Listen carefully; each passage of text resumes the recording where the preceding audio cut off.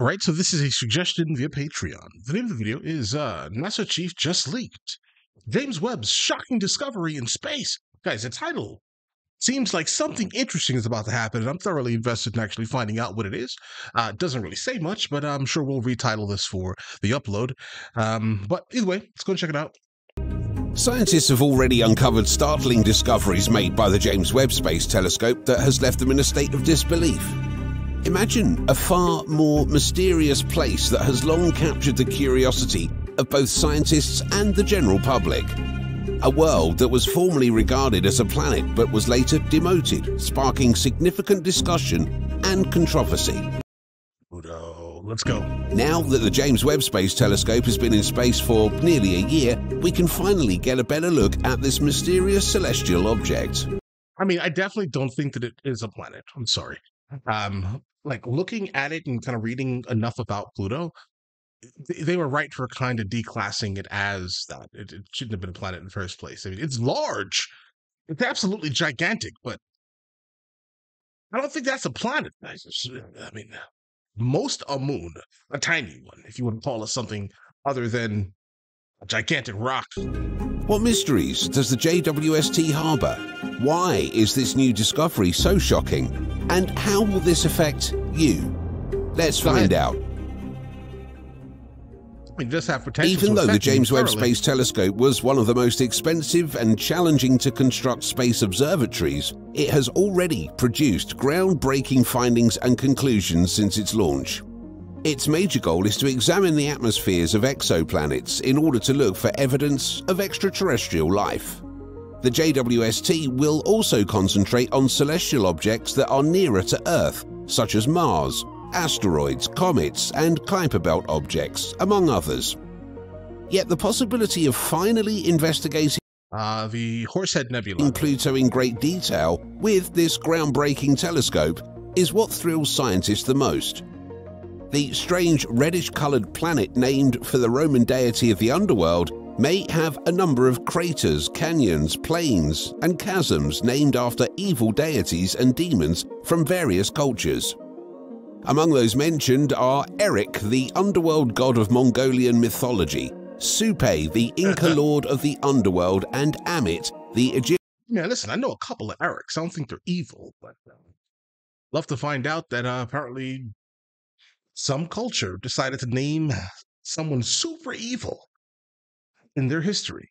Eric and Eric now, for some reason, there means uh, they're evil. Egyptian goddess who ate the souls of the That's sinful. pretty. Many fictitious creatures have also been proposed, including Morgoth from J.R.R. Tolkien's The Silmarillion and the Balrog from the author's Lord of the Rings. Although none of the names have been formally chosen, they were proposed as part of a plan sent to the International Astronomical Union by SETI Institute researchers as part of a public outreach initiative dubbed Our Pluto. The names have the power to convert Pluto's seemingly foreign scenery into a place where the worst fears and nightmares of mankind have come to life. Mephistopheles, the demonic figure from German folklore who begs for Faust's soul in Marlowe's Dr. Faustus, is one of the names that have been suggested. Even though Pluto no longer qualifies as a planet, Right. scientists continue to be fascinated by it. At the It's moment, the. James Webb Space Telescope doubt. is all the rage because of its ability to take pictures of far off objects. The telescope can definitely be utilized to explore Pluto, as many people have been inquiring. The James Webb Space Telescope is on the case because Pluto is up to something sinister. Uncertain of the cause, scientists have detected that Pluto's atmosphere is vanishing. The atmosphere of the dwarf planet, which is mainly composed of nitrogen, resembles that of Earth. Pluto's atmosphere, however, is supported by the vapor pressure of the ice that covers its surface, unlike Earth. Hence, if the ice on Pluto warms up, it has the potential to drastically alter the atmosphere's density. Scientists have been tracking Pluto's motion away from the Sun for the past 25 years. Pluto's atmosphere is now beginning to refreeze onto its surface as a result of the surface temperature falling over this period.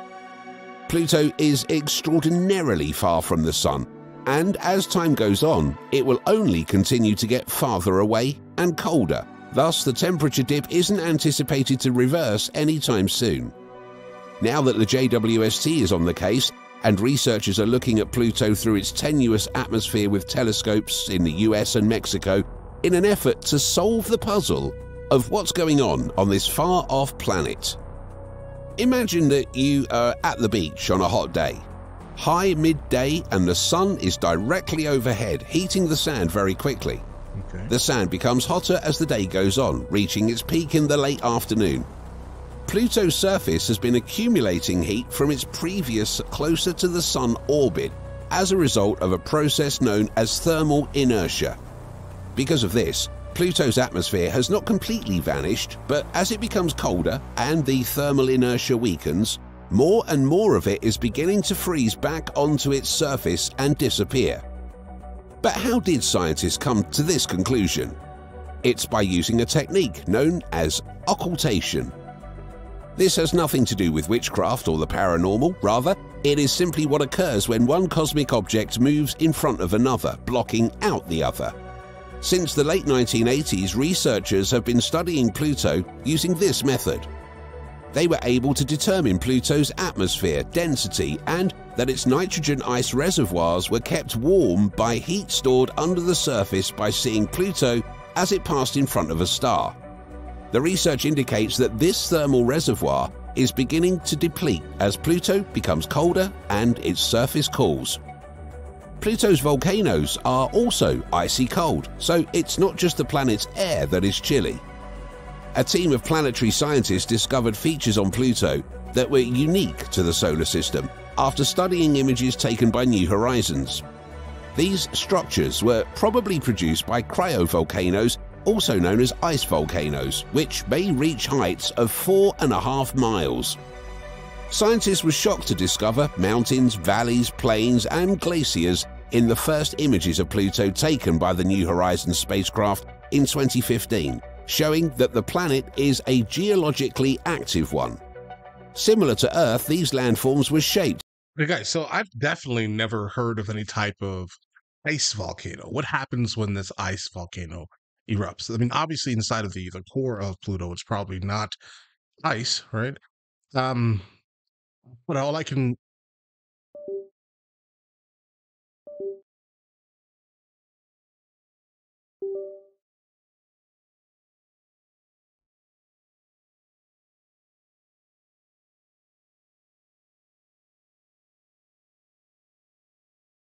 Hmm.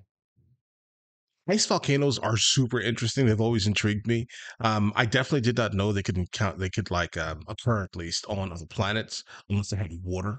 Because I think for the most part, when we encounter um, like ice volcanoes on Earth, right, they generally happen like super close to bodies of water. Generally, waves are are there, right, and um, freezing cold air with oceans the the ocean water basically goes underneath this ice shelf that was just created, and out of nowhere spews it through the uh, the opening in some random thing that was created by nature, right?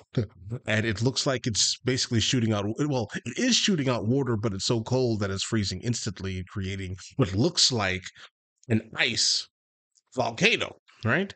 Um, but I just, just don't know uh, how one could occur on a planet that doesn't have water, right? Um, so all I can think of is that there's obviously some type of maybe magma, like in the core of the planet of Pluto. Yeah, it's like negative 300 to 400 degrees uh, on Pluto, sure, but I don't think. I guess I should research more probably why exactly, or, or what is the cooling temperature of magma? Like, what is the temperature that it actually will freeze at? Because if the magma is shooting out of the volcano like a regular volcano here on Earth, and it's freezing instantly as it hits the air. Well, then obviously now we have a ice cryo volcano, right? Um, but yeah, guys, if you know more, please correct me, guys. Let's go. Which include ice volcano eruptions. According to NASA, the geologically young topography that the team of scientists investigated suggests that Pluto's inner structure may have recently held heat allowing for the deposition of materials rich in water ice on the surface. The substance that was ejected from the ice volcanoes would have needed to have the consistency of toothpaste in order for the structures to be constructed by the seeping toothpaste-like fluid. Okay. A geological wonderland exists on Pluto. There are many completely distinct regions on Pluto. You wouldn't know what the other regions look like if you only had a few parts of the puzzle of Pluto. Have you ever called someone cold-hearted? Well, guess what? Pluto, although being extremely cold, has a heart. The New Horizon probe found this heart-shaped region during a flyby of Pluto. It is even larger than the human heart and has a surface area of a million miles. It is composed of nitrogen glaciers. Pluto's actions are likewise determined by its heart, as the left ventricle, known as Sputnik Planitia, drove the planet to turn such that Charon, its moon, was facing the opposite direction. The phenomenon where a planetary body shifts its spin axis as a result of significant geologic processes is known as a real polar wander. The ventricle's current location, a cold trap gathering nitrogen ice to form a two and a half mile thick ice sheet, is what's causing Pluto's surface to split and the enormous cracks in its crust. The basin is believed to have developed closer to Pluto's North Pole and to the northwest of where it is now. Pluto is still not free since it will keep reorienting itself if ice builds up on the basin. Who knew a cold weight, heart right? could be so fascinating? Data from New Horizons is giving scientists information on Pluto's more recent characteristics in addition to aiding the study of its older landscapes. Around Pluto's equator, the spacecraft had previously discovered enormous methane deposits, some of which were as tall as skyscrapers on Earth. The finding of these features underscores the complexity, dynamic nature, and diversity of planetary surfaces like Pluto's and deepens our understanding of the processes that shape Pluto and other ice planets in our solar system. Pluto is a dwarf planet, but how did it get its name? The solution It's might tiny. surprise you. Now, scientists think it might And- have Not a planet. had a fiery beginning. Okay. Astronomers had long believed that radioactive decay had a role in the planet's primordial subterranean sea's slow formation over millions of years. Recent discoveries, however, have called that notion into question. Scientists combed over photographs of Pluto taken by the New Horizon probe to look for hints regarding the planet's formation. They discovered that the presence of mountains and valleys on Pluto's surface could shed light on the planet's formation. The scientists examined these peculiar surface traits and then used computer simulations to explore several planet formation scenarios. Scientists found that Pluto would have contracted and left visible evidence of compression fractures if it had started off cold and then internally melted. The fact that the team only saw extensional characteristics, however, led them to hypothesize that Pluto may have had a brief, violent beginning that gave way to an early ocean.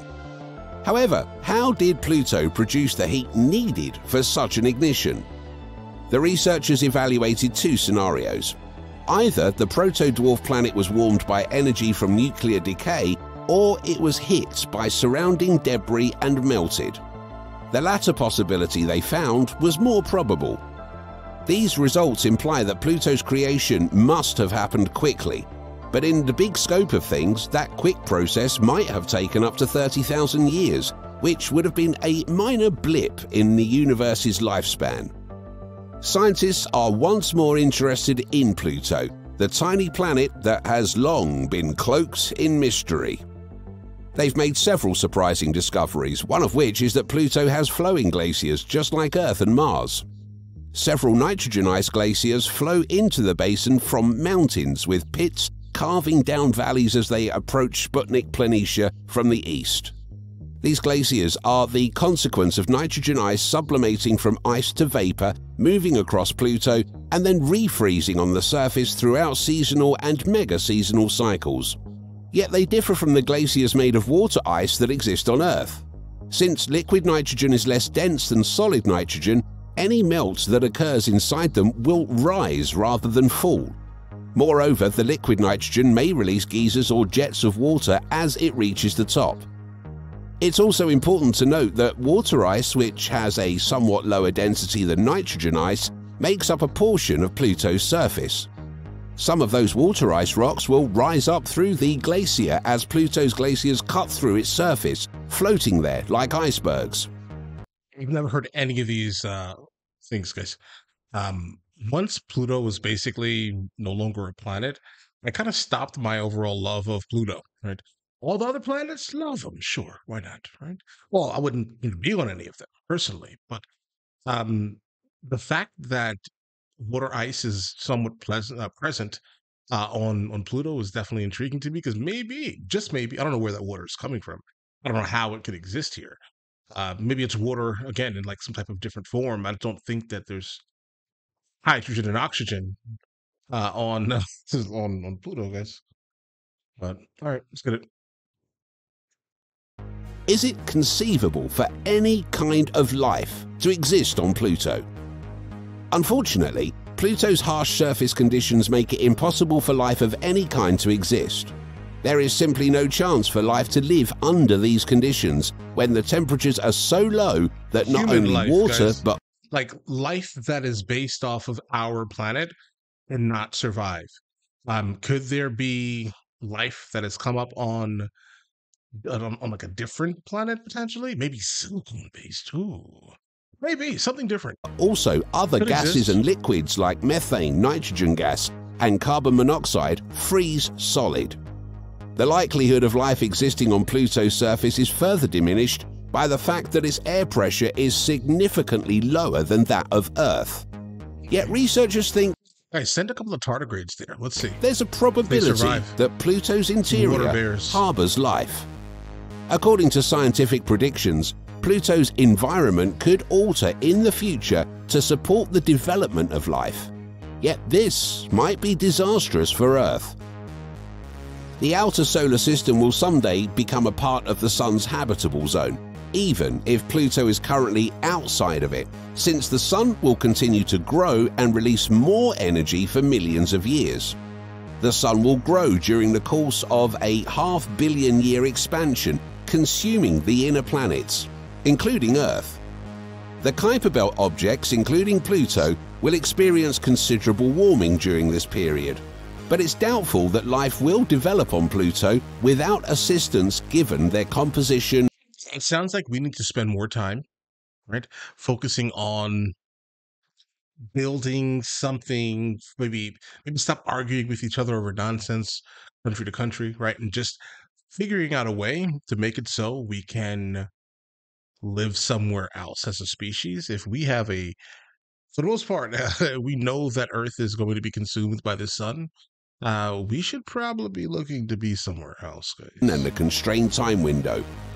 It's possible that humans will need to ship plants and other living things from Earth to Pluto and other surviving bodies. Yet these cosmic occurrences are still billions of years away, so don't worry.